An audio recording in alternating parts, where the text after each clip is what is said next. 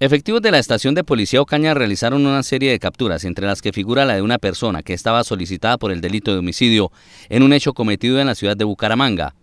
Se logró la captura de una persona de 45 años del sector de las enfermeras. Entre tanto, en el sector céntrico se realizaba otra captura, una persona que había cometido un hurto y quien ya tenía antecedentes por ese mismo delito.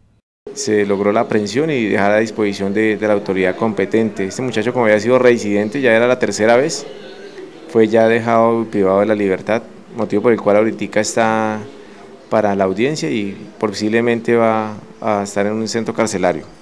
Otras tres personas fueron capturadas por porte y tráfico de estupefacientes.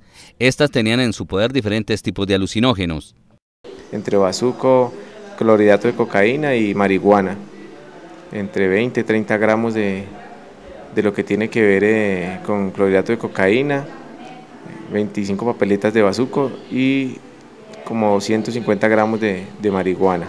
En otra acción fue capturada una persona a quien se le halló en la guantera de su carro un revólver que no figuraba a su nombre, por lo que fue presentado ante un juez que lo dejó en libertad. La aprehensión de esta persona se dio porque la comunidad avisó que estaba intimidando con el arma de fuego.